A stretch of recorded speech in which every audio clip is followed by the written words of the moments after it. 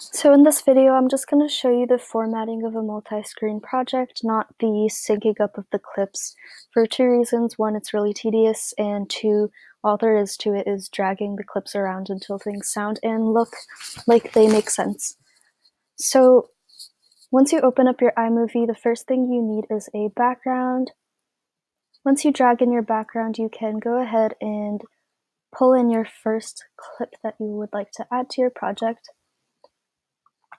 For the sake of this video, I'm going to cut it really short just because we don't want to be waiting super long for things to load when they need to.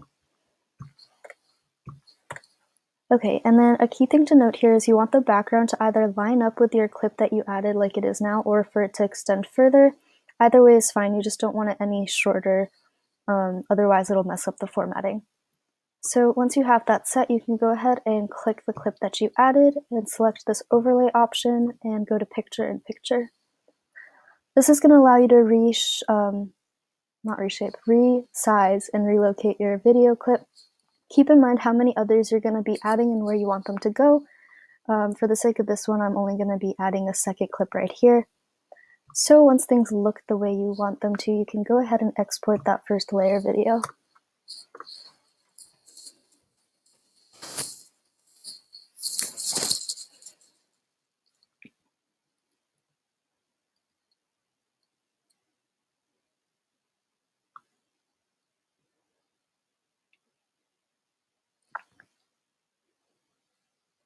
Okay, so as you can see, the thing that we just saved is right here, or wherever you saved it to. You can go ahead and delete what we just made and drag in that video that we just saved into your video editor. Now this time around, you don't need a background. All you need is to drag in that next layer above the video that we just made and line things up, do the, all your synchronizing, and same thing, you're gonna click on the clip, go to overlays and picture in picture once again. Resize and relocate your clip the way you want it. And then once it looks satisfactory, you can go ahead and export. And that's really all there is to it.